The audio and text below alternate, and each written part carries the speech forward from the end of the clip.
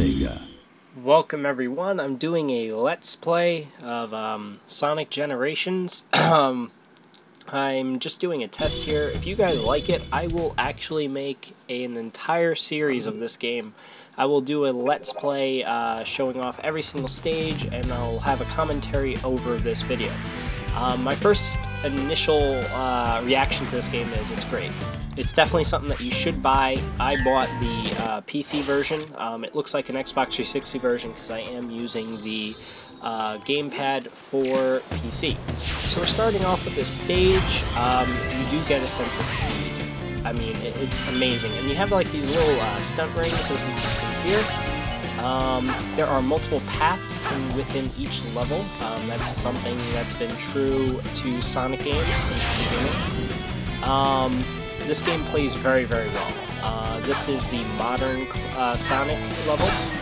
Uh, you do have to collect these red uh, rings. I believe there's five in each stage. I don't know what they uh, get you, but somebody mentioned Chaos Emeralds. It's bullshit. You can actually get it some other way. Um, now, I never owned any of the other Sonic games from this generation. Honestly, the last Sonic game I bought was Sonic Adventure 2 for the Dreamcast. Um, I did like Sonic Adventure, didn't really care for Sonic Adventure 2, uh, because they really strayed away from the original formula, and it was all about these side quests and, you know, operating machinery. It was, it was really shitty. Um, this game is all about speed finally, Sega finally got this right. Sonic Unleashed, I did play a bit, I never it. The day stages were great, the nighttime stages were horrible. So finally we get what it is we want. Uh, this game, I mean, this level, I, I'm sure it's from Sonic and the Secret Rings or something like that, I believe. Um, but this reminds me a lot of the first stage from Sonic Adventure. Now, there's one big issue with this game, and it's deaths. There are plenty of them, what you're about to see is I hop onto the second rail and I jump over the cannon. I don't know how the fuck that happened. I did not hit the A button. It just jumped over it. So, um, as you can see, I had to retry. Um, it, it, it, sucks. There, there are plenty of cheat deaths. Now, the way the rating system works in this game is, uh, based on the speed and the number of times you die, you'll get a rank. If you get an A rank and you never died, you will get an S rank. Um, as you'll see here, I believe I get an A rank because I already died. Um, now there's some other things here. As you can see, now they do have little like carts here. The carts aren't really a problem. I, I, I thought it was unique. I mean, it doesn't stray that far away from the formula uh, because it, you're still ahead. You're going one direction.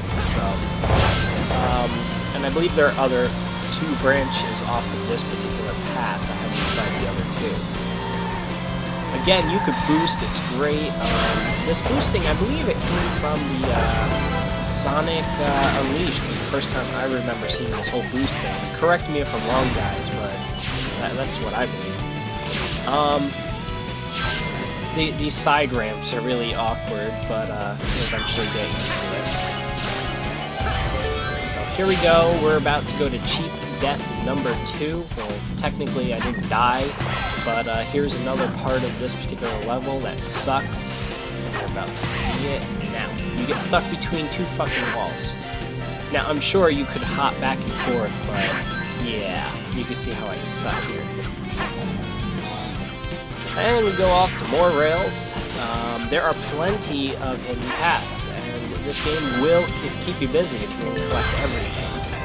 Um, I have to say, visually, this game is amazing. The graphics are extremely uh, nice. I mean, especially the water detail there. I can only imagine what the Nintendo Wii used to look like. So, here you go, guys. Um, this is my first stage. If you guys like this video a lot, I will actually do from the beginning, step by step. Take care.